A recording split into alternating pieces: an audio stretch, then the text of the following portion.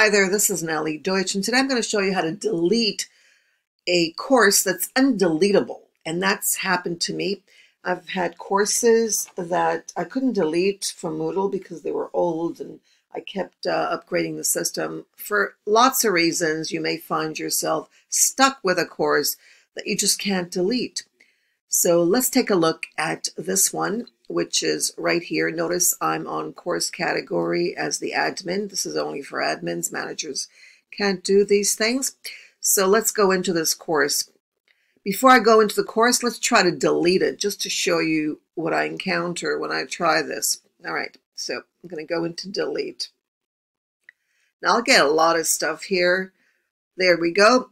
Exception, class backup, Skype.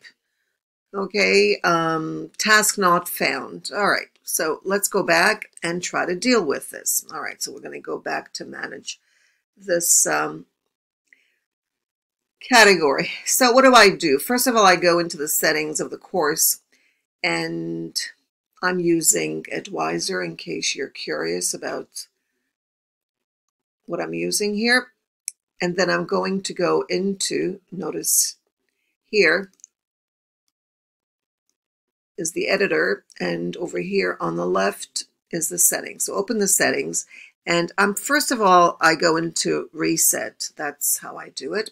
So I'm going to reset the course and notice what I do with the reset. I just delete everything, everything. Try to delete as much as possible. Delete the roles, go into more, Okay, I'm not going to show you all of this, but the idea is to delete everything. You notice these are causing problems here, okay, particularly Skypes. All right, so let's go into reset course at the bottom here and wait a few seconds.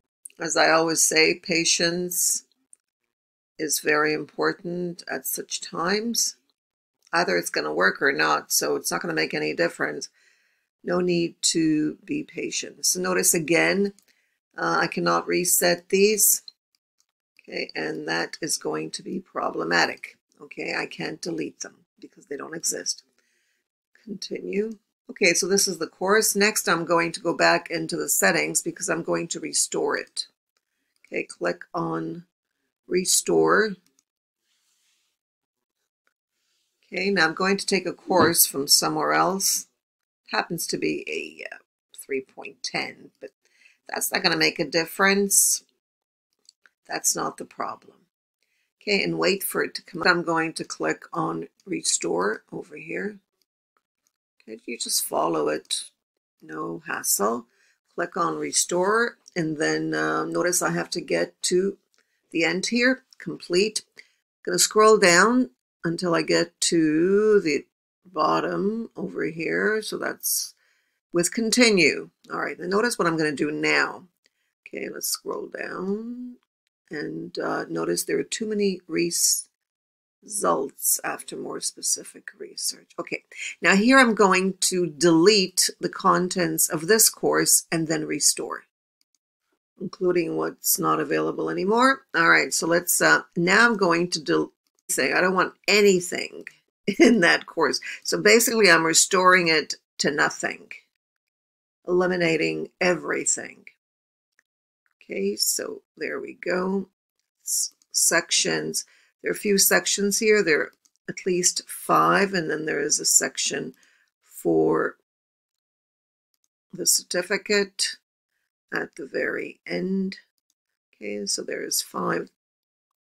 That's the layout of the course with reflections and then the certificate. All right, so next I'm going to go next.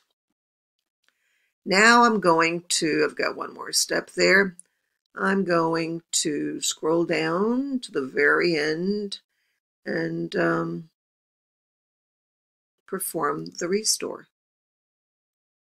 And then it tells me, of course, that I'm on 3.92 and the course that I'm adding is 3.10. As I said at the beginning, this is not a problem. I've done this a few times.